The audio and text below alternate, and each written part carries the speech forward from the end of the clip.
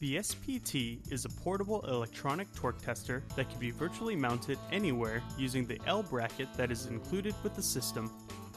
This system can be used in mechanic shops, dealer trucks, high accuracy laboratories, and many other facilities that require the qualification of critical torque measurement devices.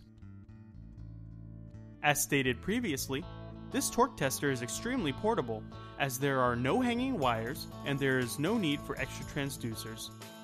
The SPT has only one socket and is able to test any torque tool within the specified range, with the option to use an adapter if need be. Setting up the SPT for use is as easy as 1, 2, 3. After turning the tester on, number 1, choose your mode, track, peak, or first peak.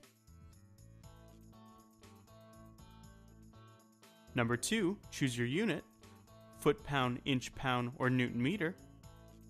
And number 3, use the up or down keys to choose your target torque.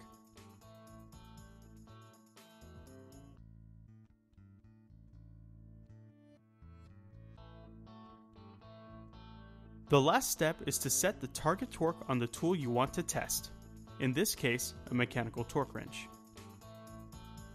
Plug it in and apply torque. Knowing whether or not your tool is within spec is a snap. The red LED indicates that you are not close. Your tool is definitely in need of calibration. The yellow LED indicates that you are plus or minus 4%, which is barely within spec. The green LED indicates plus or minus 3%, which is within spec and good to go. Now you know whether or not your torque tool is qualified for daily use.